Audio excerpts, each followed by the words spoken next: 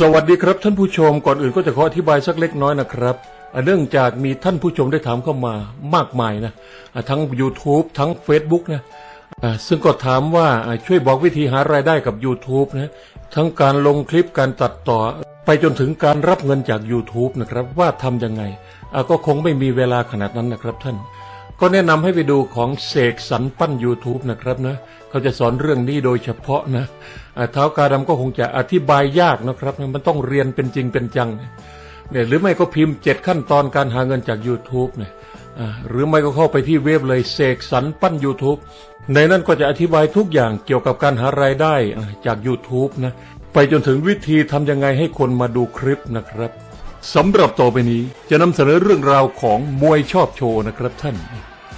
ส่วนมากนะก็จะเป็นนักชกที่มีฝีมือเก่งฉกาจนะอันเนี่ยถึงกล้าโชว์เนี่ยโชว์หลบหมัดหน่อยดูสิครับมูฮัมหมัดอาลีเนี่ยโชว์หลบหมัดคู่ต่อสู้นะเนี่ยเนี่ยนักชกส่วนมากที่กล้าโชว์แบบนี้ ก็ต้องมั่นใจในตัวเองนะครับ ว่ามีความเก่งฉกาจที่จะสามารถหลบหมัดคู่ต่อสู้ได้นะครับเนี่ยเนี่ยเห็นไหมเนี่ยก็เรียนแบบมูฮัมหมัดอาลีนะครับท่านนะและนี่ก็คือสามารถพยักอรุณนะครับนี่ แล้วก็โชว์การหลบหลีกหมัดของฮวนเมซ่านะครับนี่อ่าสำหรับมวยไทยก็ไม่เท่าไหร่นะครับ ส่วนมวยสากลนี่จะหลบยากนะเพราะมวยสากลเนี่ยเขาซ้อมต่อยเป้าอย่างเดียวเนี่ย ดูสิครับนะและภาพนี้ก็เป็นภาพที่ดังไปทั่วโลกนะครับ สามารถหลบมาได้ไม่รู้กี่หมัดนะเนี่ยเอาอ่าและหลังจากนั้นพิมาศก็กระแทกนะกระแทกหมัดซ้าย เข้าเต็มกระโดงคางของฮวนเมซ่า เนี่ยยังเลิศศิลาชุมแพทัวร์เนี่ยก็ถือว่าเป็นนักชกอีกคนนะครับที่สามารถหลบหลีกหมัดของคู่ต่อสู้ได้นะเขาเรียกว่าเป็นความสามารถเฉพาะตัวนี่ก็เป็นการโชว์ความเก่งฉกาจของตัวเองนะครับท่านเนี่ยดูสิครับนะแล้วก็มาดูอีกประเภทหนึ่งสิครับท่านก็คือชอบโชว์นะ แต่ฝีมือไม่ถึงขั้นเนี่ยอย่างนักชก MMA คนนี้เนี่ยเห็นไหมเนี่ยท้าทายคู่ต่อสู้เนี่ยโดยการนั่งลงไปนะเนี่ยอา ดูสิครับเนี่ยเขามั่นใจว่าเขาสามารถหลบแข้งได้อะไรโอ้พระเจ้าดูสิเนี่ยถ้าแบบนี้ก็เป็นเรื่องน่าอายนะครับนะ ก็คือยังไม่มีความเก่งฉกาจมากพอนะครับ แต่อยากโชว์นะอันเนี้ยเอาแต่เขาก็ชนะฟาวไป ก็มาดูการโชว์ที่ขายหน้าอีกขั้นสิครับนะเนี่ยก็คือการยามหยันคู่ต่อสู้นะเราก็เรียกว่ามั่นใจในตัวเองเกินไปนะ แล้วก็ประเมินฝีมือคู่ต่อสู้ต่ำไป จับตาดูให้ดีเอานั่นนะเห็นไหมอ้าวโดนเคาะหน้าอีกนะครับเนาะเนี่ยเราก็เรียกว่าประมาทนะ คนก็สมน้ำหน้าละก็มาดูคู่นี้สิครับ นี่ก็เกี่ยวกับพี่เลี้ยงนะครับ ประเมินนักชกของตัวเองไม่เป็นเนี่ยเนี่ยเขาเรียกว่าสมองกระทบกระเทือนนะครับ นักชกคนนี้นะแต่ก็ยังถูกบังคับให้ชกต่อ ก็มาดูมวยสากลท่านนี้นะครับ นักชกจากจังหวัดสุรินทร์ผู้มีนามว่าเดนนภาบิ๊กช็อตแคมป์เนี่ยเนี่ย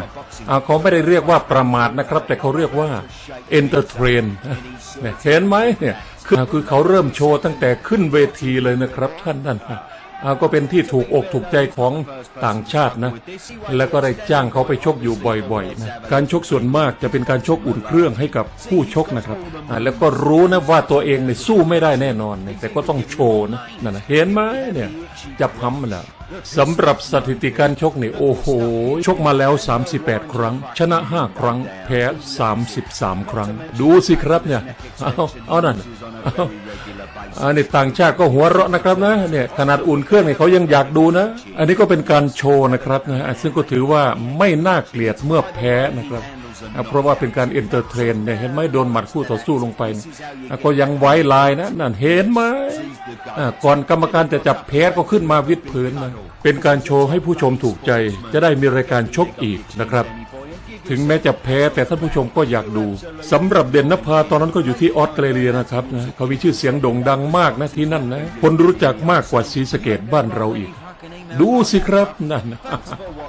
และก็มาดูอีกประเภทหนึ่งนะครับ นั่นก็คือการปล่อยให้คู่ชกต่อยหน้าของตัวเอง โดยไม่มีการหลบ ซึ่งการทำแบบนี้ถือว่าอันตรายมาก และต้องมั่นใจในความแข็งแกร่งของตัวเอง อย่างอี้หลงคางเหล็กดูสิครับเนี่ยเนี่ยเห็นไหมฝรั่งต่อยยังไงก็ไม่ลงนะครับ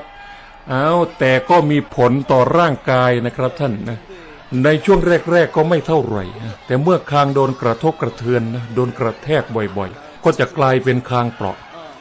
เนี่ยเห็นไหมดูครั้งที่สองอีหลงฮ่าฮ่าเอาแอละแน่ตั้งแต่นั้นมานะคางของอีหลงนี่ก็โดนไม่ได้นะครับนะเนี่ยต่อมาก็โดนสิทธิชัยและไซโยกน็อกนะโดยการเตะคาง ก็เลยกลายมาเป็นมวยคางเปราะ เพราะชอบโชว์นั่นเอง สำหรับมวยไทยการยืนให้คู่ชกต่อยหน้านะครับ ก็มีมานานนะครับนี่ท่านนี้บุญเกิดแฟร์เท็กซ์เนี่ยยืนให้ฝรั่งต่อยหน้านะครับ จับตาดูนะเนี่ยปล่อยให้เขาต่อยหน้าเนี่ยก็ต้องมั่นใจในตัวเองนะครับถ้าเกิดแพ้น็อกขึ้นมาเนี่ยก็มีแต่ขายหน้าเท่านั้นสำหรับต่อไปนี้จะขอนำเสนอการชกของมวยกัมพูชาท่านหนึ่งนะครับนะเขามีชื่อว่าพิษสัมบัตินะ เป็นมวยเด็กที่เพิ่งจะหัดชกมวยมาสองสามปีนะแต่ก็สามารถเอาชนะน็อกยอดมวยกัมพูชามาแล้วหลายคนนะแล้วก็น็อกนักมวยไทยมากมายหลายคน พิษสมบัติเป็นมวยกัมพูชาที่น่าจับตาดูมากที่สุดนะครับ เนื่องจากฝีมือของเขา เก่งฉกาจขึ้นมาอย่างรวดเร็วนะดูจากฟอร์มและสถิติการชกของเขานะครับท่านถ้าเดินทางไปชกที่ประเทศไทยสมมติว่าชกกับไซโยกพุ่มพันม่วง ก็ไม่แน่นะครับว่าไซโยกจะสามารถเอาชนะเขาได้ง่าย ๆ โดยเมื่อก่อนนักชกคนนี้นะครับเขามีความตั้งใจว่าอาจจะเรียนให้สูงที่สุด และก็มาทำงานที่ประเทศไทย แต่เนื่องจากมารดาของเขาป่วยหนัก ต้องใช้เงินรักษาเป็นจำนวนมากนะ ด้วยฐานะทางบ้านยากจน เขาจึงหยุดเรียนและก็มาชกมวยเมื่ออายุ 16 ปี เพื่อนำเงินมารักษาแม่ของตัวเอง เราย้อนไปดูการชกของพิษสมบัติกับจอมเก๋าชาวกัมพูเชียด้วยกันนะครับนะ ซุนเทียนสัน 19 ธันวาคม 2564 ที่กัมพูเชียนตัว เท้ากาดำภาคเป็นภาษาอีสาน เอาก็ต้องขอกล่าวคำว่าสวัสดีครับท่านผู้ชมทุกคนทุกท่านนะครับเนาะเอาก็ต้องขออภัยท่านผู้ชมบางท่านนะครับนะที่ไม่อยากดูประวัตินะเอาก็เป็นคอนเทนต์ของช่องนะครับนะก่อนจะโพสก็จะนำประวัติเล็ก ๆ น้อยๆมานำเสนอเอานั่นเห็นไหมเห็นตัว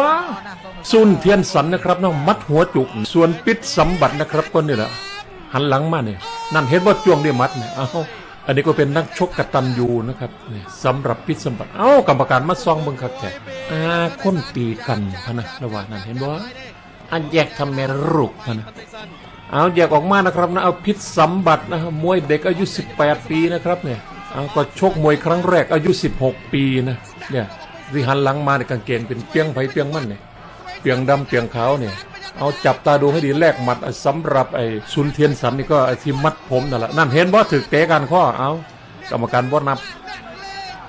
เอามาให้ดูว่าทำไมเด็กคนนี้เก่งเร็วจังนะครับเนี่ยเอาสองครั้งล่าสุดก็ชนะตวนเฟสสิทธิ์สามพยักนะครับนะหลังจากครั้งแรกเนี่ยแพ้ประสบการณ์ เห็นว่านั่นเอาดูการชกของเด็กคนนี้นะครับ มาไทยไฟได้รู้ยังตัวเนี่ยตีเข้าไปแล้วเอาชุนเนี่ยยืนให้ชกนะครับเนาะเอาซุนซุนเทียนสัน เอาว่ายังไงตัวนั่นน่ะเอาล็อกมาที่ละเออมากอดกันดีแต่กรรมการแยกกันไหมอันแยกทำเมสโรกันเอากรรมการแยกออกมา